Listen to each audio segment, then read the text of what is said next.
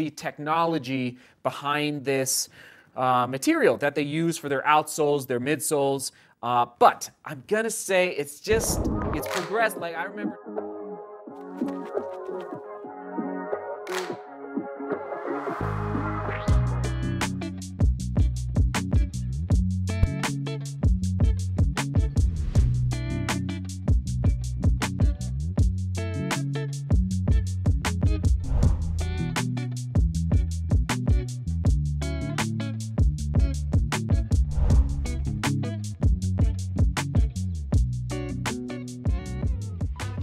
There it is, there it is. Shout out to the UK Inov-8 Park Claw G280. All right, testing is all done. We took it past that 25 miles, 2,500 feet of vertical gain. Okay, a neutral trail running. it's, uh, let me just do, hold on. Gotta hold it over here so I don't get dirt dirt on the computer here. Uh-huh, not too shabby. It's twisting, okay? Good work there, Inov-8. By the way, how's everybody doing? Hope you're having a great weekend out there around the world. Why not? Where are you watching from around the world? Drop your country or your city down in the comments. Okay, we're looking, oh yeah, for the drop, 29 and 21. So a little leaner. Okay, so sometimes these trail shoes can be a little, so if you don't want to risk rolling an ankle as much, if you like to be a little more grounded, feel, feel the ground just a little bit more under step, this could be the trail running shoe to consider. Okay, look at those cleats underneath there, those, uh, those lugs. Okay, here we go, putting it on the scale. Women's size 8, men's size 9 on your screen, 9.1. That is pretty darn good for a trail running shoe. Everybody almost into the eights. We're looking at an engineered mesh with, hold on, yep, let me just confirm, full gusset through that tongue, okay? Solid lockdown, felt great felt secure. The tongue has plenty of padding so you don't feel the, the laces on the top of your of your uh, foot. I love the eyelet chain, okay? And uh, gosh, I, oh, let me just take in this uh, one second here. This toe cap and this toe box. We do the toe cap test. Yes. So if you kick a rock or a root, I forgot to test this ahead of time. If you kick the rock or a root, you're going to be well protected there with that toe cap. Now, one little challenge I will say is the construction of the heel counter. Look at that, a little flexible. So it, um, I would want a little more uniformity with that heel counter. And it just feels, I don't know, it didn't feel awesome. Uh, you know, to the touch, to the foot, to the foot, it uh, it wasn't bad. Okay, I'm now that I'm reflecting on the, uh, I'm literally thinking about the running footage, is a little heel slipping, just a smidge. Uh, so the lockdown on the on the top of the foot was great, but now I'm reflecting the heel pocket there just could use a little bit of loving, all right? So we got the graphene enhanced foam for that midsole. They call it the G-Fly. Um, it propels supposedly 25% more energy return for a fast feel stride, okay? And I gotta say, I think Inov-8 is moving in the right direction but I'm not sure we're there yet compared, I'm just to say, compared to other running shoe companies out there. Now, the graphene, you should look it up on their website. There's their website right there, okay? I think it's innov-8.com if I'm not mistaken, but research graphene. It's pretty amazing. The technology behind this uh, material that they use for their outsoles, their midsoles. Uh, but I'm gonna say it's just it's progressed. Like I remember testing Inov-8 two years ago, three years ago.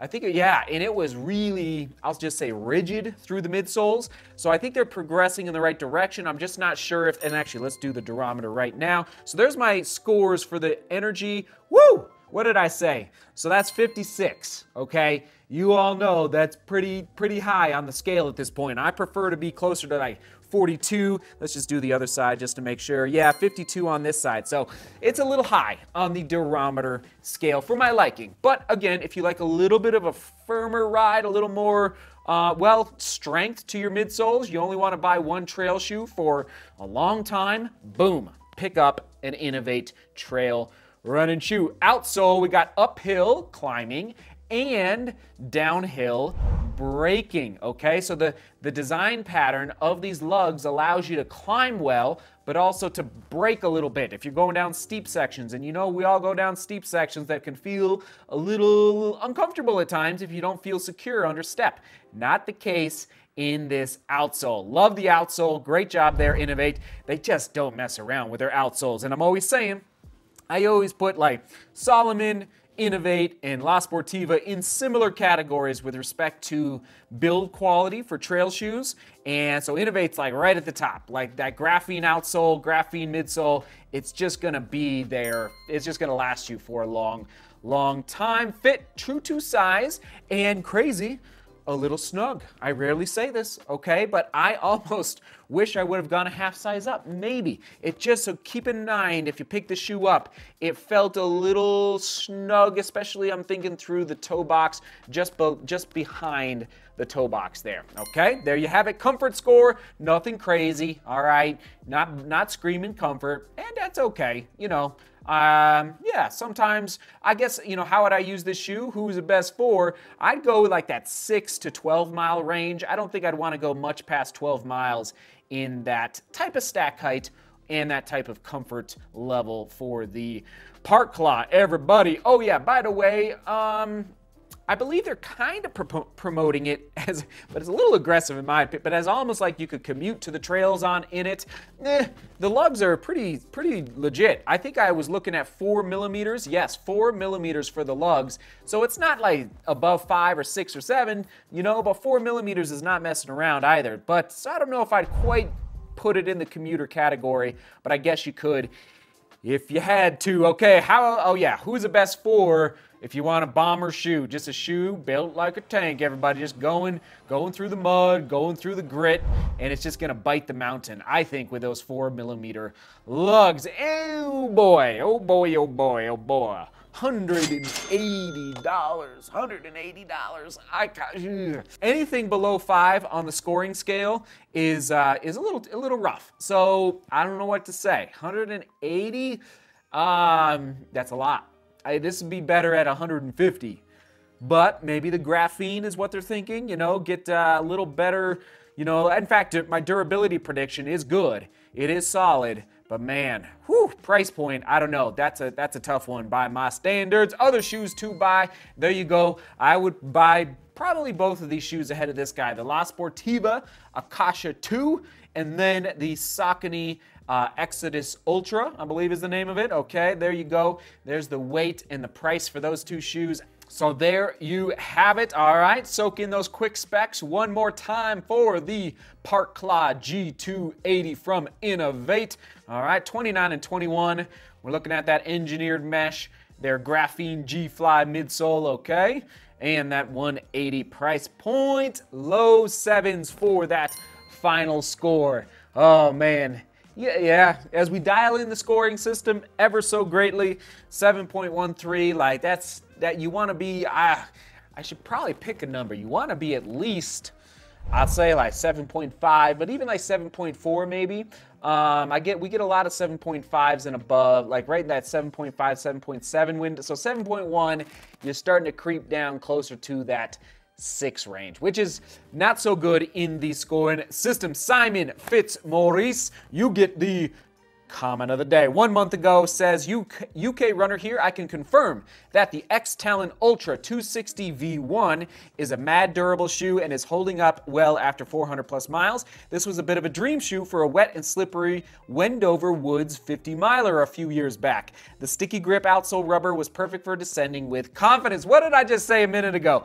I'm telling you, if you want to descend and climb with confidence, look at Inov-8. I love Inov-8, and I know that score isn't amazing. I know people at Inov-8 will probably watch this vlog, and uh, I'm just calling it as I see it with respect to the upper, with respect to the price point, and just, you know, comparing it to some others. But at the same time, I've never taken an Inov-8 shoe to a thousand miles. I just can't do that. But if anybody has, please do send me photos to info at DeMoor globalrunning.com. There you go. Question of the day. Oh man, this is like the opposite of trail running. What do you think the metaverse slash virtual reality is going to entail in the future.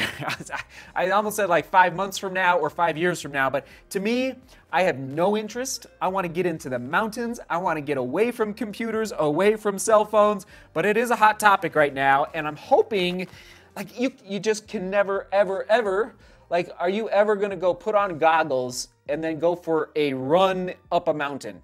I will never do that. I will never do that. And I say that now, watch, I'm going to do it in like 10 years from now. But I'm telling you, I have no interest in the metaverse or virtual reality. It's just not my thing. But what do you think about it in the future, everybody? All right, we'll toss it to the Inov-8 running shoe playlist. Inov-8 running shoe playlist right there, right there, right there. And actually, people have been asking me to say where shoes are made more so made in China. Okay, there you go. So I'm gonna try and remember to do that. Made in China. There you have it. All right, on and onward and upward. Seek beauty, work hard, and love each other. See you tomorrow.